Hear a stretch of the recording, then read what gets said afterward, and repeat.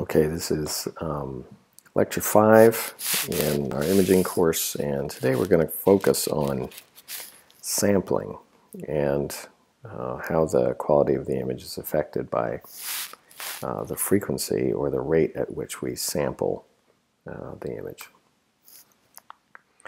We all live in a digital age at this point, and um, the difference between analog signals and digital signals are shown on this uh, simple diagram. If I have an analog signal, normally I have continuous floating point values as a function of position or independent variables, say x in space. And so this is a height or a wave as a function of x. I can make that signal digital by sampling that function at discrete points as a function of x and just recording the values.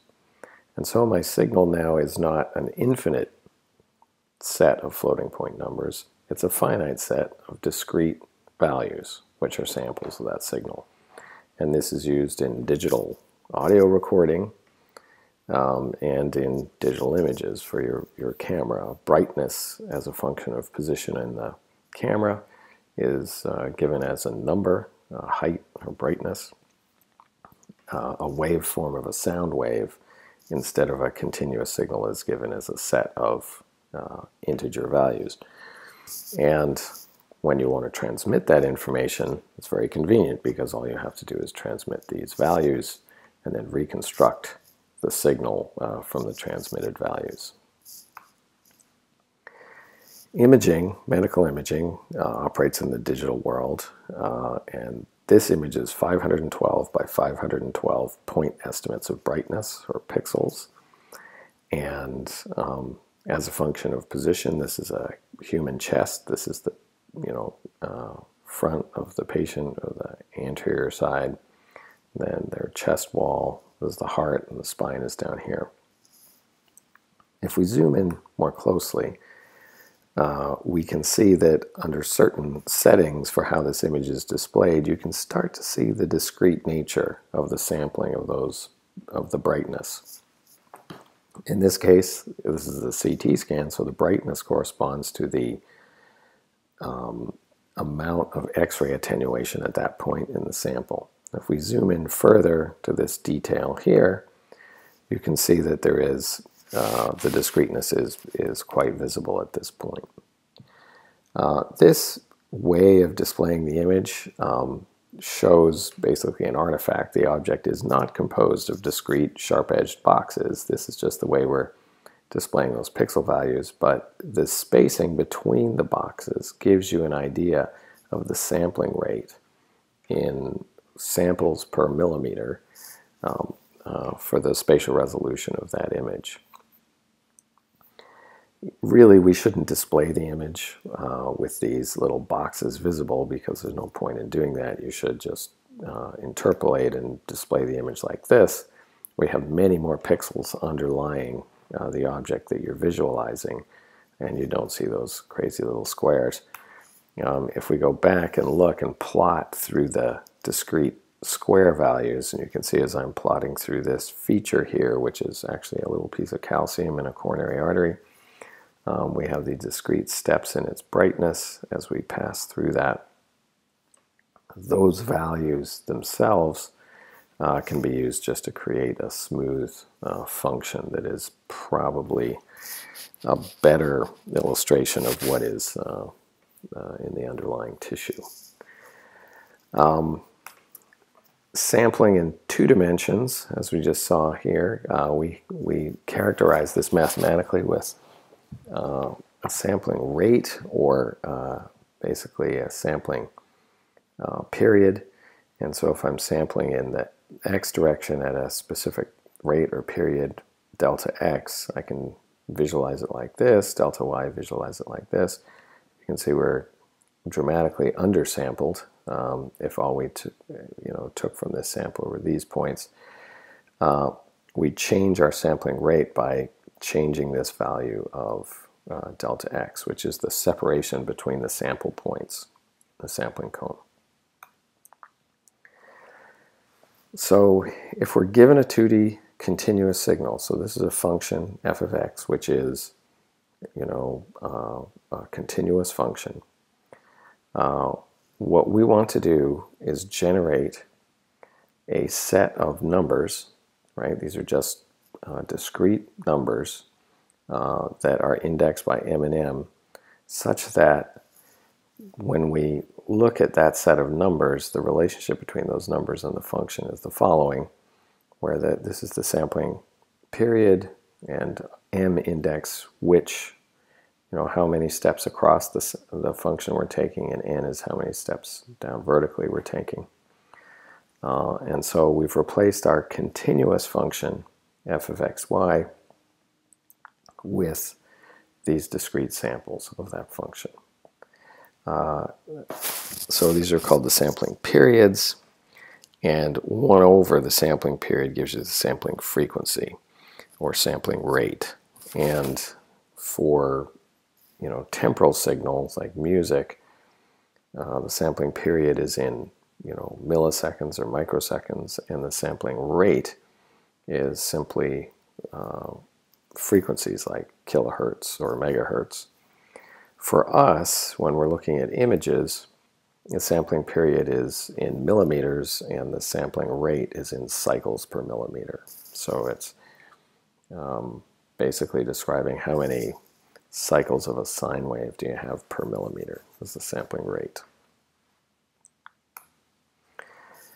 Sampling rates show up uh, immediately uh, in simple descriptions of CT scanning because we're going to have an X-ray source that we raster across the patient who is sitting here, and then there'll be a detector that measures the intensity of X-rays that get through our, our object. And the separation of these detectors just in millimeters is basically uh, 1 over that separation is the sampling rate uh, across here. And, you know, as the geometry of the detector changes, um, the details of that sampling rate might change, but, you know, the basic principle is that there's a separation between this sample here and this sample here. And usually that separation in a modern scanner is about one millimeter on the detector, on that order. Um, so uh, you just count across the number of detectors, and that's how many millimeters are in your field of view. So in CT scanning, we have an X-ray source. It comes out of a small orifice and produces a fan beam of X-rays, and then here's our sampling grid. And so our sampling rate is going to be defined by how many sample points we have on that grid. This is what the sampling grid looks like, or the detector, the X-ray detector itself. It comes in component parts, but this is the theta direction, or if the patient was lying here, this would be the right-left direction. And uh, this is the z direction, or the direction from their head to their feet. Um, and inside each one of these modules, uh, we have a set of these little chips that have individual detectors on them, and they're uh, they detect an X-ray, cause a flash, goes to a photodiode, which makes a voltage coming out, and that set of signals comes out of each one of these you know, replicated chips. Uh, you can see it's plugged in here. This is where the electronic voltages come out. Here's the detector element itself. It's 16 detector elements this way, 32 this way, and they are uh, separated by about one millimeter. Um, question, why can't you just make this thing 64 by you know 32 just put 32 here and 64 along here to make a higher resolution picture uh, just as they seem to be doing endlessly with uh, cell phone cameras. They now we're up to 12 megabyte or uh, megapixel cell phone cameras which is a 3000 by 4000 array. Um, well you can do that. You can just make um, more cells. However, the efficiency of that detector may go down because there's space between each detector element. And also, you have to get a critical number of photons inside each detector element when you're measuring your signal um, in order to get good statistics. And so you just might run out of photons. Uh, so there's going to be a balance between uh, the photon flux you think you're going to use and the dimension of these uh, detectors. 256 detector elements this way, 832 this way when we're all said and done. So here's a continuous function as a function of an independent variable x, which is position in space, given in millimeters. And these are, let's say, x-ray intensities as a function of position in, in millimeters. In MR, this, if we're talking about sampling, this will be a function in time. We'll have a voltage as a function of time, and uh, you'll measure those, you'll sample those voltages with an A to D converter. We want to turn this continuous signal, in our case for CT, it's a image that exists in space of, of X-rays that are flying through space with different intensities. And uh, we want to uh, essentially convert it to these discrete samples. Okay, so our continuous function sampled at n points, you know, at, at uh, an nth point of delta x gives us a sequence of values as opposed to a continuous function. So we have a big question. How many samples do we have to take? Like how finely do we have to sample this thing um, in order to have a high fidelity system, right? You can imagine if I sample very infrequently, I'm not really going to be able to tell you what this function is. So a more technical way of asking this question is, can we reconstruct the original continuous signal or the original continuous image from its discrete samples? So given just this sequence of numbers, this list of numbers, can I give you back this function? That's one way of asking that question. And then what are the consequences if you don't sample it well enough, if we undersample? Uh, does it cause artifacts and what do they look like? So the example we will look at um, initially is a time domain sampling. And if we have this signal, which is a, say a voltage measured as a function of time, which is what we would measure in our receiver coil um, in an MRI experiment. And we look at the time base, this is 100 milliseconds here. Uh, zeros here, and then we start oscillating voltage. Um, we're going to sample that voltage as a, that is a function of time at some rate, uh, capital Fs. And uh, what we'll do is we'll take the Fourier transform, the 1D Fourier transform of this signal, time domain signal, to look at the amplitudes of the sines and cosines that are required to construct this signal uh, from those sinusoids. So when we look at those amplitudes, that's what the Fourier transform gives us. We plot that normally as uh, either an amplitude spectrum or a power spectrum. The power spectrum is just the amplitude of those uh, coefficients squared. And um, so this is in time, this is in hertz or cycles per second, right? So if I look at uh, an interval, say from 0 to 100 milliseconds, and I have 100 full cycles in there. That's one cycle per millisecond, so that's one kilohertz is the frequency component. So I come to my uh, Fourier spectrum and I say, okay, here's a kilohertz here, one kilohertz, and that would be the peak uh, at that frequency.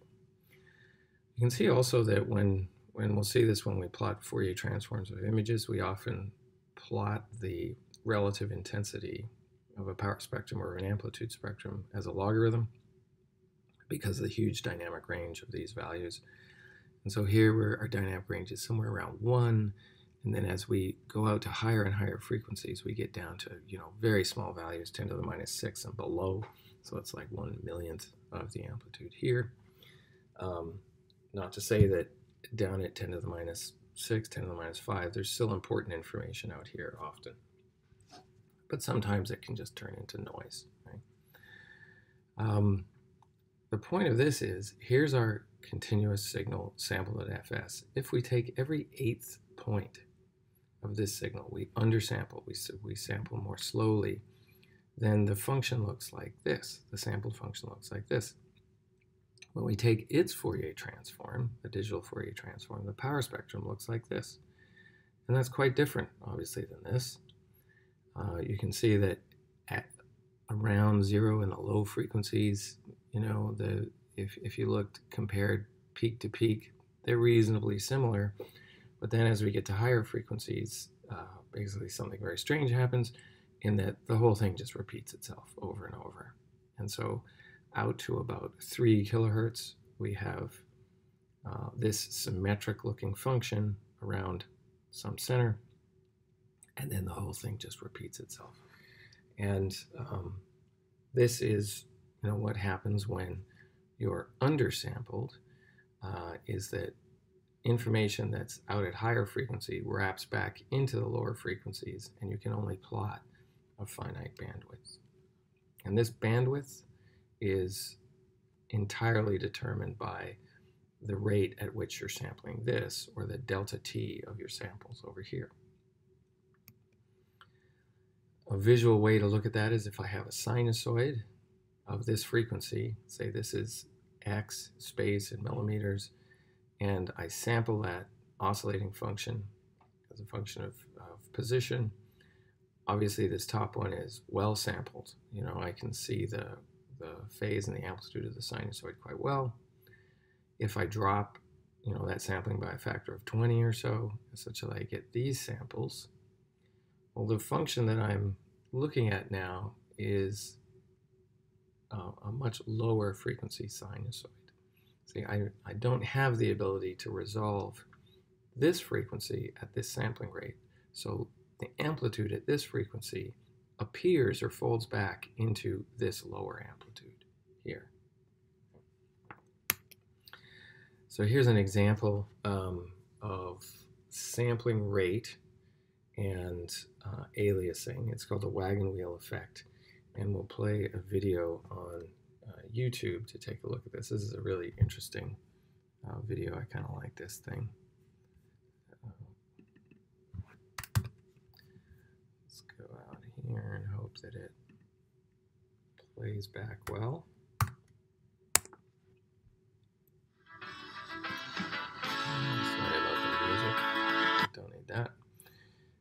So here you can see as the camera is sampling pictures of the positions of this you know object you can see some of those rings are rotating clockwise some are rotating counterclockwise and some are stationary.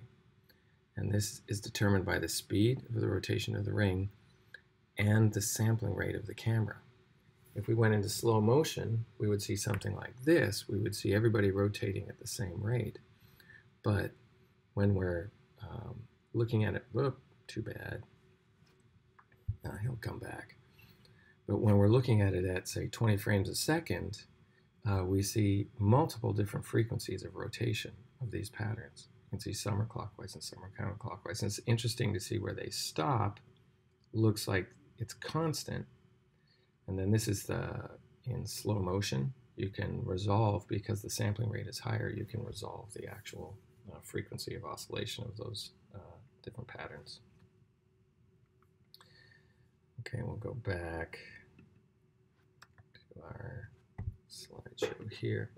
So in medical imaging, here's an example of aliasing. If we have a film image, uh, say of a chest x-ray, and I want to archive that in my picture archiving system, as opposed to my filing system, I need to digitize it. And so a lot of scanners were developed where you just digitize this picture that's on the, on the left here.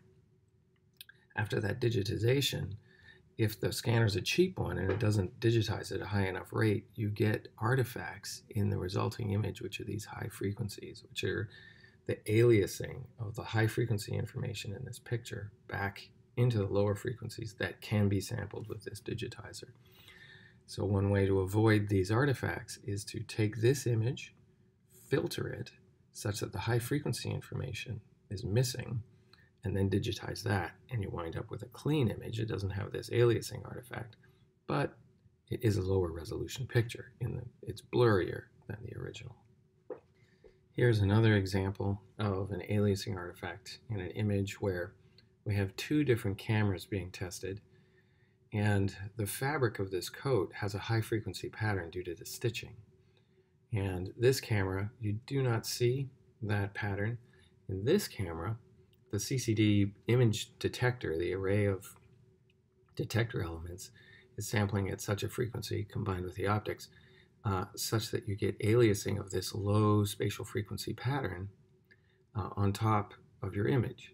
And this is in fact aliasing of the power or the energy of the high frequency of the pattern back into the lower frequencies that are displayed and this and you get this artifact. It's called a Moiré pattern and it's an example of aliasing.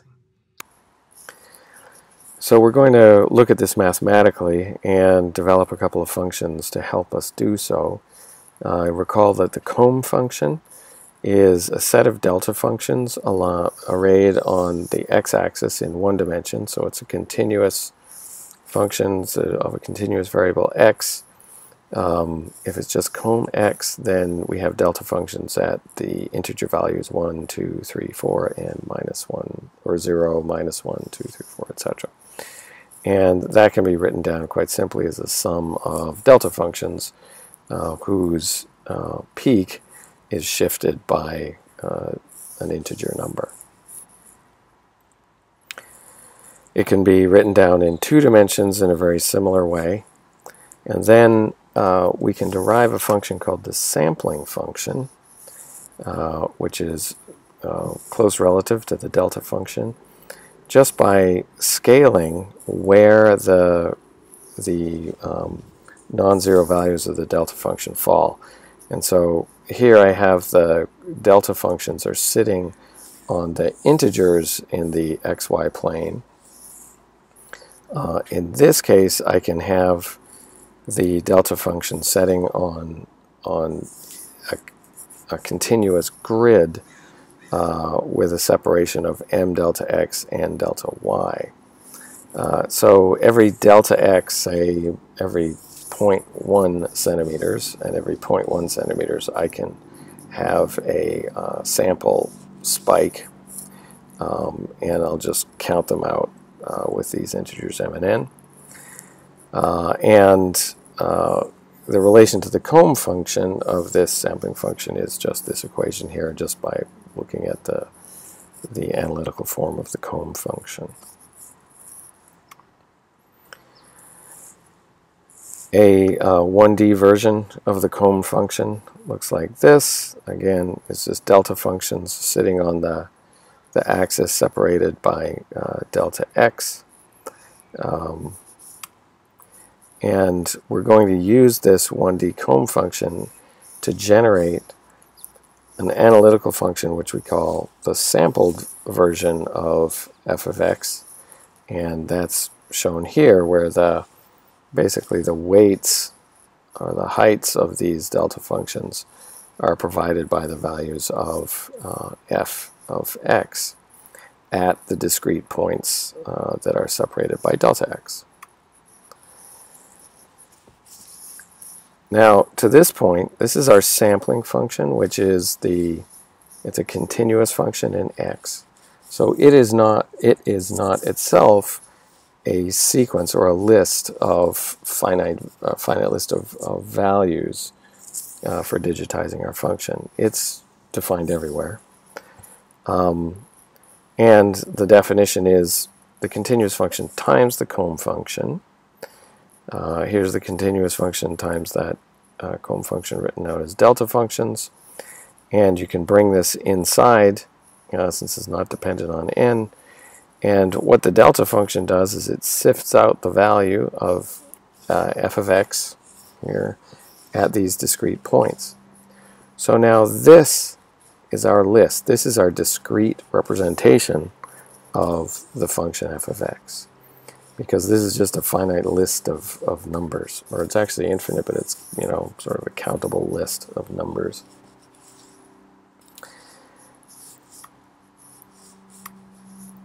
Uh, we can do the same thing. We can define the sample function in the plane and what we get is a two-dimensional list uh, indexed by M&M of these values of fxy at the points defined by the separation m delta xy and uh, delta y. So um, we're going to need in a moment the Fourier transform of the comb function. So we'll just pause for a second and look at that. Uh, and recall that the Fourier transform of the comb function, or a set of delta functions, is itself another set of delta functions in Fourier space. So this is in space in millimeters, this is in cycles per millimeter. And so we get a separation of delta functions in Fourier space. And if we look at what happens when we um, scale the comb function so that we can put our points at arbitrary points n delta x along the x-axis, and so this is the new comb function. The Fourier transform of that, um, using the properties of the Fourier transform, particularly scaling property on the uh, dependent variables, uh, we get a comb function in k-space that is separated at intervals of 1 over delta x. That's the Fourier transform of the comb function that is separated delta x. We get a comb function where the peaks are separated at 1 over delta x. So this is what it looks like graphically. Here's our comb function, set of delta functions. There's a separation between the points. Let's call this 1 millimeter, say. And then this uh, is the separation of the peaks in the Fourier transform uh, of that comb function. So it's just another comb function, but now the separations are 1 over delta x. So if this is 1 tenth of a millimeter, this is 10 cycles per millimeter, this gap here. Okay. So now we can look at what does the Fourier transform of a sampled function look like? So here's our sampled function, gs, g sub s of x. It's the continuous function multiplied by our comb function in the spatial domain. We'll take the Fourier transform of that function and by the convolution uh, theorem, you know, the, the fact that product a product in the spatial domain turns into a convolution in the Fourier domain, we see that we get the Fourier transform of little g of x, so we'll call it big G of kx, convolved with the Fourier transform of the comb function. And this is why we needed the Fourier transform of the comb function a few slides ago. Uh, so the Fourier transform of the comb function is here, right? And again, it's just a set of delta functions separated by 1 over x and we're going to convolve the continuous true Fourier transform of the continuous little g of x with this uh, comb function. So that convolution can move inside the sum because it's not dependent on n. And so we have the convolution of the continuous Fourier transform uh, with uh, delta x, and that sifts out the values of the continuous Fourier transform so that uh, at each point kx in our Fourier transform of the sampled version of gs of x, at each point we get the value at that point of the pure continuous transform plus the values uh, of that transform separated at units of 1 over delta x. So it's an infinite sum to get any value of the Fourier transform of the sampled version.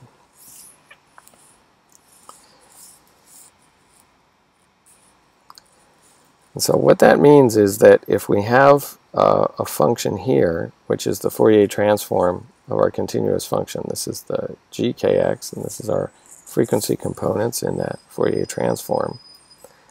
Uh, when we look at the, the Fourier transform of the sampled version, it isn't just this one thing, it is a whole sequence of versions of this, right? and they are replicated at the sampling rate 1 over delta x. So you can see now how it's going to be important what we choose in terms of our sampling period or our sampling frequency. Right? Uh, if we sample with a very uh, small gap between sample points, so delta x is very small, then the separation between these replicants will get very large. It'll move, move away. And any one of those replicants then will be a more accurate representation of the true underlying tra Fourier transform GKX.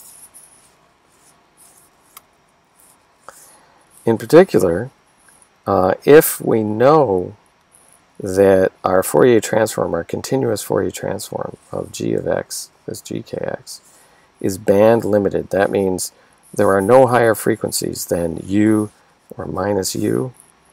Uh, we can then set a criterion for how to sample little g of x such that when we take the Fourier transform of that sampled version, these replicants won't overlap at all.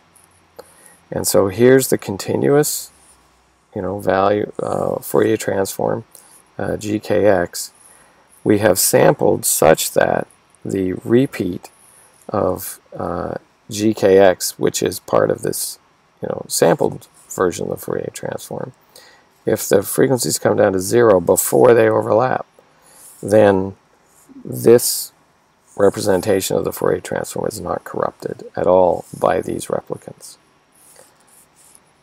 And so we can actually write down a very simple criterion. We say, if this is our total bandwidth, let's say we want to sample out here to two cycles per millimeter, right, is our highest spatial frequency that we know is in our object. Then the total bandwidth I have to worry about is minus 2 to 2 cycles per millimeter or 4 cycles per millimeter. So if I set delta x to, or 1 over delta x to 4 cycles per millimeter, right, then I know that these will be separated uh, broadly enough such that they're not going to overlap. And so this central one will be a good representation of the Fourier transform. That's called the Nyquist criterion. And it's quite simple. Our bandwidth, you know, that we want to achieve uh, has to be less than 1 over the sampling distance. Right? This can be called the sampling rate. 1 over delta x can be the sampling rate, say in cycles per millimeter, and this is the bandwidth in cycles per millimeter. If on the other hand we don't make that criterion, then uh, what's going to happen is if 1 over delta x is too small, the replicants move closer to our, our central copy here, and we start getting uh, you know additions uh, here. So our estimate of the Fourier transform is this plus this, which is going to be up here, and we'll, we'll get errors in the Fourier transform out at the edges. And then as this you know moves in closer and closer, eventually we'll see very low frequencies from this part of the uh, first you know replicant uh, blending in with with these high frequencies and we saw that happening with the uh, spinning disk example in two dimensions it's the basically the same thing uh, we need if this is our central uh, set of spatial frequencies in the in the image on the Fourier space uh, we need to separate uh, the replicants of the transform in the Fourier plane uh, such that we don't get these overlaps. And if we don't do that, if we undersample in either delta y or we undersample with delta x, then these replicants will move in and we'll start getting corrupted estimates of the Fourier transform. Let's go back to our uh, example that we showed above. You can see now that this sine wave is oversampled actually. It's sampled very well. Uh, we have enough samples across the sine wave to know what the amplitude and phase of this thing is.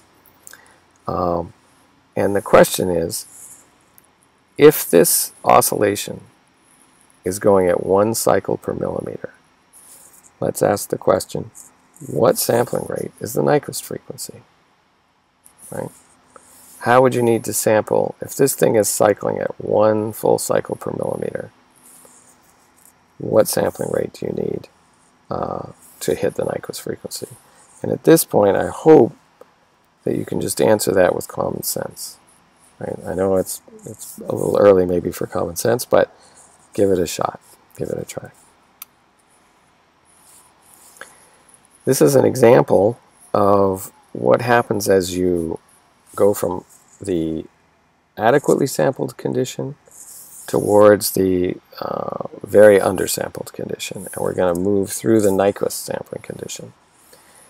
This is a plane wave, and it has a kx of 1. Let's call it 1 cycle per millimeter.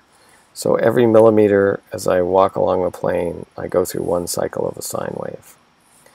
My delta x for this diagram is 0.1.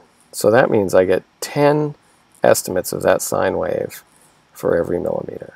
So I get a nice smooth you know, function when I'm going along here. It looks like a sine wave. It looks very much like that function. If I drop my sampling rate, or I increase my uh, sampling period, delta x, to 0.2, the function looks like this now. It's still a reasonable representation of a sine wave. I have a peak, a trough, and a peak, and they're occurring at the correct position, and everything looks okay. So one assumes I'm adequately sampled with a delta x of 0.2 and a kx of 1. So you can kind of guess where we're going here. Like, what is the Nyquist criterion going to be? Here's 0.3. Delta x is 0.3, or 3 cycles per millimeter is my approximately my sampling rate, right? Here's 0.4, so it's 2.5 cycles per millimeter. And here's delta x at 0.5. Recall my wavelength. I have one cycle per millimeter. Now I have one sample point every half millimeter, or two sample points per millimeter. Right? So now I have a peak and a trough, and a peak and a trough, and a peak and a trough. And that's perfectly sampling up and down, up and down, up and down. Right? And this, in fact, is where we hit the Nyquist criterion. So it's one cycle per millimeter. My sampling rate has to be two cycles per millimeter in order uh, to represent that sine wave adequately.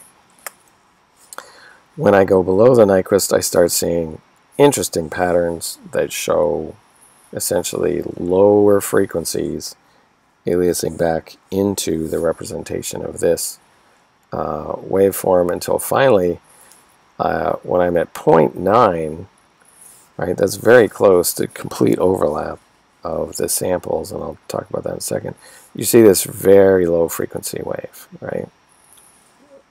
The underlying signal that we're sampling here, remember, is this, right? However, it is showing up as this. And the reason is we're just poorly sampled, right? We just, we're, only, we're almost only sampling once per millimeter, right? What happens if we do sample it once per millimeter? Well, we would sample here, here, here, here. So everything would be the same value. We would just get a constant, right? And that's complete overlap of those uh, two versions of the Fourier transform in, in the sense that DC is now overlapping with our highest frequency, right?